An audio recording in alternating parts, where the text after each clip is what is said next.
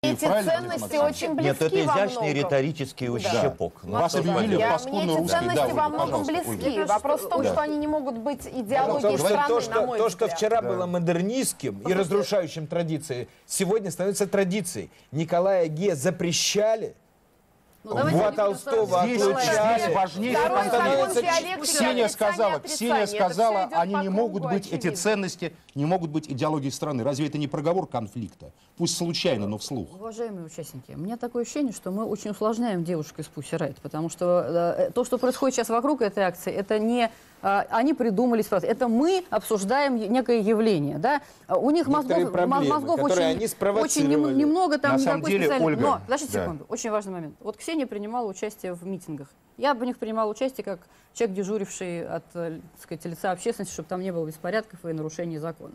Мы прошли все мероприятия. Вот это оскорбляет людей, которые пришли на открытый протест с открытыми лицами, которые требовали достаточно жестко от власти очень серьезной ответственности, но сделали это в рамках закона. И сегодняшняя идея о том, как легко стать оппозиционером, достаточно задрать штаны, или задрать юбку или снять штаны, написать там что-нибудь у себя на пятой точке про Путина, и ты уже становишься узником совести и Единственное, я хочу оппозиционером.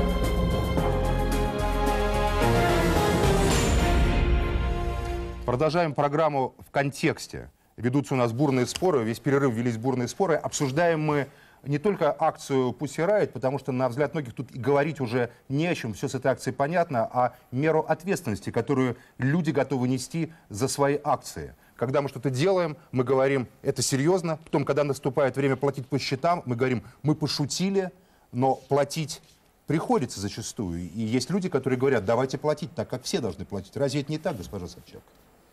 Ну, я, Вы готовы говоря, платить по счетам? Вот, вот За вы. что? За то, что вы делаете. я не участвовала в акции Ну хорошо, «Пусть давайте рай». возьмем вот конкретные совершенно вещи. Если есть справедливый вера в справедливый суд, вот я скажу так, что если бы у меня не было уверенности, что вместо суда будет твориться месть, я бы сейчас их критиковал похлеще вас всех. Потому что я могу это делать действительно гораздо лучше.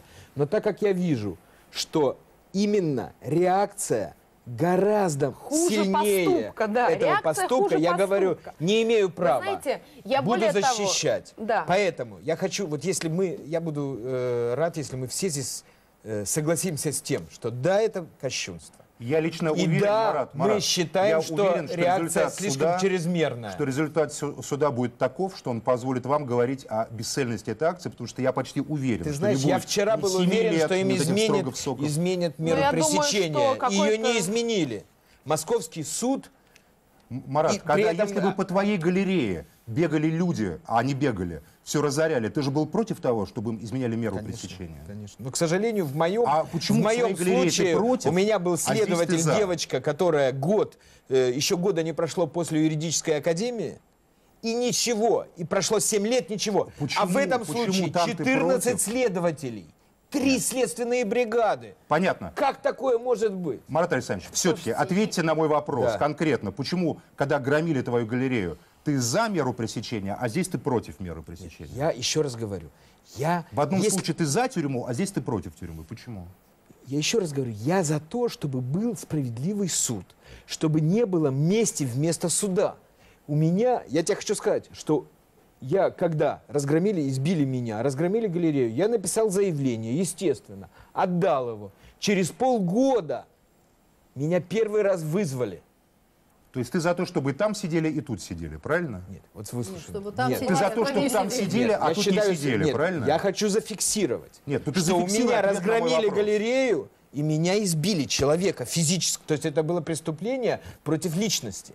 Здесь, я считаю, преступление А если бы гораздо тебя- более меньшее. Марат, а если бы не избили, то тогда бы все было нормально, правильно? Ну, имущественный вред, да, они должны а были если бы имущественный вред не было, а вот так они там устроили бы Да акцию, у нас это скандально? бывает, ты просто не понимаешь. К нам Я приходят понимаю в галерею прекрасно. очень часто Я понял. сумасшедшие, Я понял, что есть, я дикие. понял, что есть некая И мы их берем и выводим периодически. Вот, допустим, двойственность, Ксения Анатольевна, допустим, еще раз вернемся к этой истории. Когда вы скандально снимали Василия Якименко в дорогом ресторане, Вот, помните? да? хороший пример. Да, да, да. Вот я Это ровно, была свобода Максим. журналистики? Смотрите, вы привели, Вы можете вы ответить буквально... на мой вопрос? Это была свобода Можно слова? мне сказать? Я Ответьте хотела мой ровно. Ну, этот ответьте, пример я вас умоляю. привести. Я вам Ответьте на мой отвечу вопрос. на ваш Это вопрос. была свобода слова? Когда я снимала Василия Якименко, в самом факте этой съемки, на мой взгляд, не было ничего ужасного. Но в его реакции, в А письмах когда вас на «Эхо снимали- а Москвы», когда вас снимали, нет, в это его ужасно. реакции был, был весь ужас, как и здесь. То есть Ксения, у меня ужас ощущение, что не отвечая на мои вопросы, вы скрываете Я вам что-то отвечу, важное. Максим. Вы скрываете когда что? меня снимали Да. в ресторане Это Твербуль, ничего- это делали это важно? из-под тяжка и вот так. Я подошла к Максиму Якименко, вот Да. так, сказав, здрасте, Да. я Ксения Да. Собчак, хочу взять у вас интервью для Да. GQ. Чувствуете разницу? Я никогда Я не снимаю не никого из-под тяжка. А я человек смелый, спросили, и я мы- могу подойти к каждому Ксения. человеку и что-то спросить позвольте, Да. Вот в этом я ответила на вас. вопрос? Нет, я ответила на ваш вопрос. вопрос, потому что мне Давайте кажется, отвечу что до тут конца. вопрос в Вы нюансах. чувствуете разницу? Гва- э, снимать кого-то То из-под тяжка и подойти который- прямо. на вашему- Журналистика по-вашему, журналист, который это когда снимает- человек смело может подойти против- в лицо, спросить все, что Вам угодно у человека. разрешил снимать? Я подошла к нему и И он вам показала ему, сказал, что я снимайте. снимаю. А не надо сначала снимать, а потом снимать? спрашивать. Я не должна спрашивать разрешение А, съемке, ну и но у я должна показать, что я Значит, они снимаю не не должны из-под спрашивать тяжка. разрешения. Нет, есть Это разница работа. шпионской съемке Не, ну ты и знаешь- разница ты подойти знаешь, что тебя взять снимают из разрешения А на интервью. Разница Я- принципиальная. Когда Я ты сам знаешь, что работал- тебя я- Если я снимают. вижу А камеру, я отвернусь от камеры. Я сам работал журналистом. Ксения. А если давайте разберемся, Марат, снимают? Извините, и позвольте разберемся с этим пропагандой. эпизодом. Да, а вы Да. занимаетесь Наконец-то. чем? Есть разница подслушивать и подсматривать, и разница подойти и сказать, дайте интервью для журнала GQ. Я журналист Ксения Собчак, и я вас снимаю на свой телефон. Я не делаю это из-под стола, из-под руки, вот отсюда. Я это делаю вот 80%, так, задавая вам 80% вопросы. понимаете? журналистской работы – это съемка объекта, когда Нет, объект это об этом не 80% знает. желтушной Вы прессы. против этого. Я не желтый Вы журналист, этого поэтому я всего, к да? своим Вы оппонентам, врагам и коррупционным чиновникам Подходите всегда смело, подхожу смело и говорю все, что я о них думаю, в лицо. Вы мне можете меня обвинить в чем угодно, но не в То том, есть что вы я не считаете, что смелый подойти человек. снимать без разрешения – это нормально? В общественном месте подойти и снимать, Вас когда человек знает, что его месте. снимают, и это находится Когда рядом вы с ним. подошли к Это этому правда.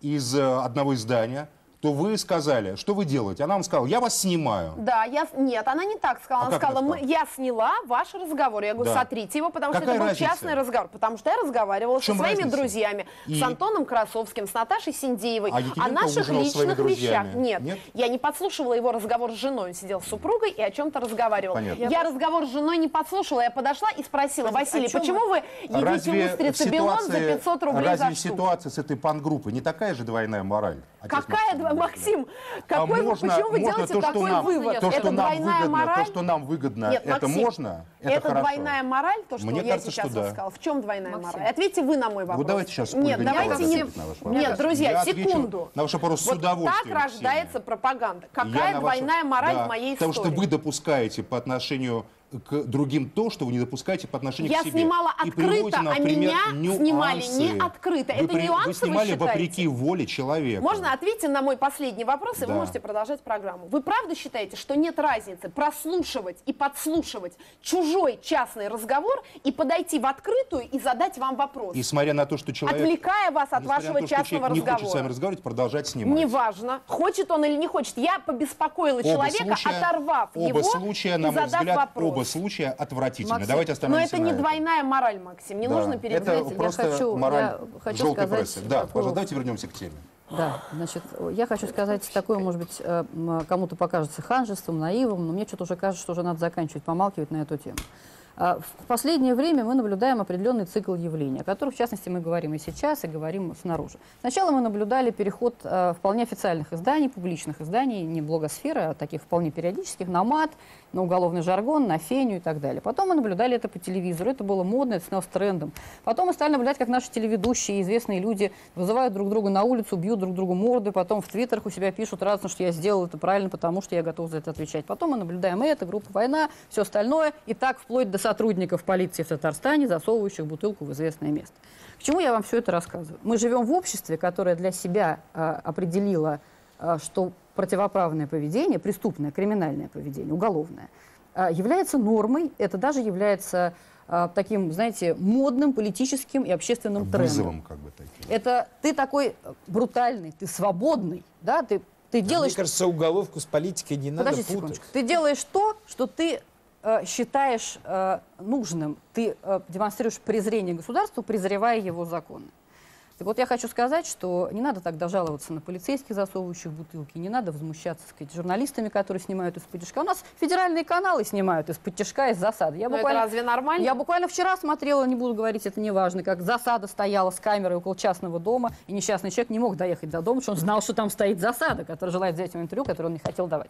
Поэтому мы находимся в очень сло- сложной ситуации. Я в этом смысле считаю, что история с Riot на самом деле а, должна стать для нас всех людей, которые, в общем, приблизительно а, находятся в В том одинаковом случае, если Должна суд будет Честно. Марат, справедливым. Дайте мне договорить. Должна. А, У нас справедливым судом э, считается то, что нас лично устраивает. Вот мне, например, Но это вы про себя. Давайте Нет, не нет, про я меня не про надо себя. обобщать. Вы знаете, я не про Оль, себя. Вот вы А сейчас вот очень давайте- много про, про нас, а я хочу сказать, Марат, что очень а потому много я что не согласен с тем, то, что вы вы сейчас говорите. произносите про суд, это ваше личное мнение, причем не факт, Это что мое личное, фактом. не, не личное мнение. Это то, что я реально Повторяете видел. за окружающими. Причем здесь? Я говорю, я видел, Что? как расследуется мое дело, Да, совершенно когда было реальное избиение и реальный ущерб, и как расследуется это Вы дело. знаете, Но нельзя вы делать как расследуются другие дела. Что значит, что вы мне Вы говорите? знаете, Марат, вы Я вам что нужно обобщать, Марат, вот и позвольте, позвольте все-таки я... Ну вот- вот это э, постоянное Ксения, секундочку, передергивать не будем. Но меня поражает то, что от обсуждения содержательной части этой акции мы перешли к обсуждению плохого и ненормального законодательства. Потому что именно Это по очевидно. этой, по этой части, а секундочку, суда. секундочку, даже если суд ненормальный, а теперь представим себе, что все нормально. Суд нормальный, уголовный кодекс вас устраивает, вас устраивает, вас устраивает. А, Суд, не знаю, как- такой, какой вы хотите. В этом случае в этом случае я бы- акция подсудна или нет, Марат? Подсудно, но Конечно. девочки получают исправительные работы 15 суток. или 15 Всего. суток, и на этом все. А и на этом все против этого заканчивается. А возражает? после этого Какой мы официальный- начинаем обсуждать, как это плохо. Кто из публичных людей против этого возражает? Мы приводили в пример Пэрис Хилтон, которая подметала, Подметала улицу, улицу, правда, когда материлась пьяным? Я хочу сказать, А другие, там, я Бритни хочу Спирс, сказать, другие кто это возражает. делали. Возражает Да. тот, кто дал сигнал суду. Потому что все адвокаты говорят, что следователи Кто дал даже сигнал, не Марат? скрывают. Кто дал сигнал? Кто конкретно? Хватит заниматься домыслами. Да, давайте Кто? назовем. Назовите имя, Прямой фамилию. Значит, отчество, если знаете. Значит, Кто? По, по информации, я просто еще раз говорю, что... По э, какой информации? Значит, по, я, не, я не знаю, я не хочу подставлять адвокатов. Ну тогда зачем вы говорите, если вы Я нам сейчас говорю о в прямом том, эфире Вот говорите... риторика нашей власти всегда к тому сводится, чем тут какие власть? Потому что меня адвокаты, потом кто тоже сказал. посадят. При чем тут Адвокаты власть? девочек. Факт должен быть факт. Вы говорите о домысле, как о факте. Такое ощущение, отец Максим. Пару слов можно Да. сказать. Вот. Нужно. А, мне представляется, Хотите еще меня посадить? э, Сейчас назову. Марат, Ну вы ну, же чужих ну, пожалуйста. Никто же вас называете. э, Есть здесь, по Вы крайней мне мере, на ухо явно, скажите, но явно потом я, не, Марат. хочет Потом видео посадить. снимут. Мне терять нечего, А, я уже якобы итак. избила журналистов, говорите Итак. мне. Я- А, Патриарх. Очень важно. А вот зачем вы это сказали? Вот это Сейчас вот, не ну, вот может- это вот, Марат, это не надо, имея возможности не доказать. Это действительно клевета. И я э, А давайте здесь с другой стороны. вполне нет. Дайте, я, я долго слушал. договорить. А, Итак, а, слово, сказанное о том, что патриарх является инициатором, это клевета. В прямом смысле однозначно клевета. И э, в, я, как человек, который, слава богу, так сказать, довольно много лет уже в церкви, ответственно это могу заявить. И если вы меня опровергнете, я перед вами извинюсь. Но это клевета. А можно тогда я А, задам Второе. вопрос? Секундочку, дайте А, Мне представляется, что такого рода акции должны, а, прежде всего, в общественном сознании и в его реплике, которой является, на самом деле, правоисправительная а, система, получать а, однозначно отрицательную реакцию. Мера а, наказания действительно может быть различной. Я плохой пророк, я вообще не пророк по жа- жанру работы, А, но я уверен, что наказание жестким не будет. Но важно, чтобы оно, простите, как в старом советском фильме, было неотвратимым. Вот если будет ощущение, что подобного рода акции имеют неотвратимые наказания, они не будут повторяться. Потому что не нужно, чтобы они повторялись. Не нужно, чтобы в следующий раз э, их апологеты и последователи пришли в зал памяти и славы на Поклонной э, горе и что-нибудь там устроили э, творческое. Знаете, это зависит... Вот не нужно это это- зависит? этого Вот я делать. хочу с сказать, отцом вот там. Максимом просто в чем согласиться. Я лично считаю, Я что самым правильным решением суда было бы, уж так позвольте тоже, было бы публичные общественные работы, подметание улицы Все в желтых, в желтых робах, в желтых робах, но в нашем законодательстве просто нет, Ольга, Есть, такого. есть, Есть, Есть. Общественная работа дело, есть, это Так, я хочу другое вам Ну сказать. давайте мы от нашей группы здесь обратимся Вот. с петицией к суду, Да. чтобы Отец для Максим, их приговорили к а общественным лучшее работам. Публичным только, публичным на улицах? Москвы. Я вообще Можно предлагал, чтобы они вопрос? подметали просто территорию православного храма. Смотрите, э, я не знаю, клевета это или нет по поводу звонка патриарха. Я не берусь судить и точно не готова повторить то, что сказал Марат Гельман.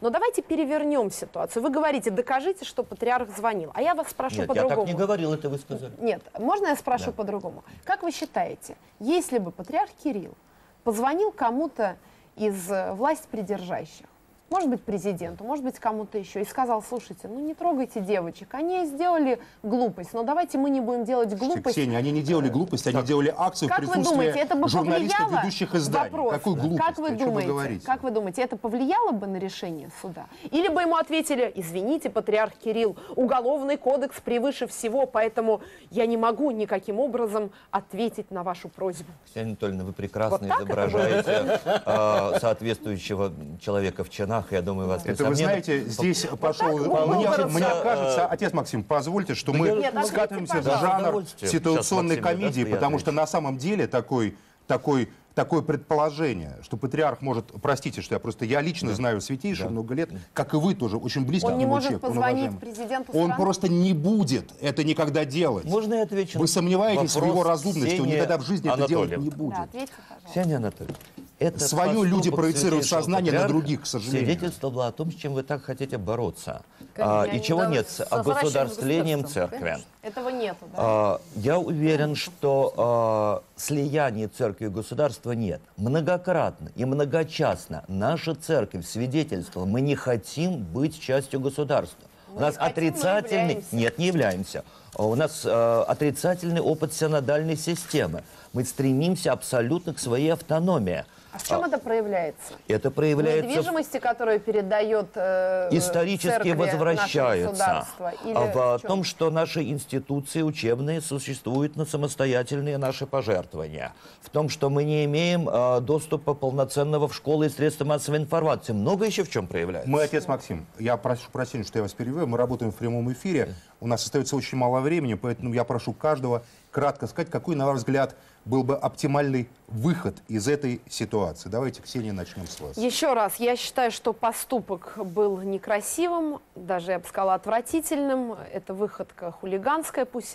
но то наказание, которое сейчас грозит девочкам, еще более возмутительно. Поэтому, на мой взгляд, э, и общественность, и духовенство должно занять позицию, что прощение – это действительно главная ценность. Поэтому наказание должно быть мягким, максимум 15 суток. Или, на мой взгляд, самое адекватное наказание – это исправительные работы, что вполне достаточно в сложившейся ситуации. Ольга. Вы знаете, я думаю, что выводы здесь два. Один, в общем, мы уже обсудили и даже не особенно с этим спорим, что, безусловно, в рамках действующего даже Уголовного кодекса, который мы, безусловно, все время подвергаем критике и будем подвергать еще долго и справедливо, потому что мы его таки не реформируем на самом деле, мы делаем вид. В рамках этого Уголовного кодекса можно действительно найти ту шкалу, в которой есть нижний предел, верхний предел, и в рамках этой ситуации решить вопрос таким образом, чтобы не героизировать, в том числе, вот помимо того, что сказала Ксения, не героизировать э, э, вот этих девушек для того, чтобы они, не сказать, вдохновляли подобного рода э, безмозглую, извините, публику. Но второе, что я хочу сказать, и важно, то, что я говорил как раз перед этим. Я думаю, что нам всем, в том числе вот тем людям, кто являются так называаемыми ломами, это лидерами общественного мнения, да, должны сделать вывод, что нам нужно заканчивать, героизировать и продвигать любое противоправное поведение. Марат. Ну, я хочу сказать, что художественная общественность готова, в принципе, сама как бы оценивать эти акции. Более того, она э, готова к некому такому пакту, да, что все-таки то, что происходит в художественном пространстве, да, это искусство, да, то есть оно отличается, и мы готовы как бы осуждать эту акцию именно потому, не потому, что она там против Путина или против патриарха. Я считаю это нормально, если люди имеют возможность высказаться. Но она должна была быть в художественном пространстве. Это ее единственное, как бы, с нашей точки зрения, нарушение. Я хочу сказать, что для них, для самих, осуждение художественной среды было бы гораздо более значительное, чем с- сроки, которые могут дать. Но никогда никто из нас не будет пытаться их осуждать в тот момент, когда мы видим что есть неправедный суд. Если вот оптимизм тех людей, которые считают, что будет праведный суд, если он подтвердится на следующий день, мы начнем разбирать эту акцию. Но не сегодня. Сегодня мы будем защищать художников. Отец Максим. А, Я вижу два вывода. а, Для себя бы сделал, и кажется, нужно сделать в нашей ситуации. Первое, а, это м, малозначительное художественное мероприятие а, показало, на самом деле, болевую точку нашего современного общественного сознания. Что мы, и я все же повторю мысль, которую уже звучала, разрываемся между двумя цивилизационными устремлениями. То, которое построено на сохранении исторического пути России, и то, которое, подобно футуристам начала 20 века, готово сбросить его с корабля и заменить некой неокультурой. Но при всем при том, как верно говорил, и тут я соглашусь а, с Маратом Гельманом, м, а, в свое время то, что считалось модернизмом, стало традицией культуры. И вот так и теперь, и даже в современной нашей культуре, которой я не фанат вовсе, можно находить то, что является общим для, возможно, более широкого круга наших соотечественников. И чем больше мы будем уходить от конфликтов по пустым поводам и искать того, что мы можем делать вместе, тем оптимистичнее мы сможем смотреть в будущее. Наверное, художник имеет право на любые акции и на любые политические взгляды. Искусство свободно так же, как свободны и люди. Но если художник наносит удар, делая его актом искусства, нарушая чужую веру, вторгаясь в чужую сакральность, то он должен быть готов как минимум к ответному удару, которое эта чужая вера, эта чужая сакральность, пространство священного может нанести по нему, и которое изменит его представление о реальности. И никаких обид. Ведь жизнь — это искусство, а искусство — это жизнь. Оставайтесь в контексте. До свидания.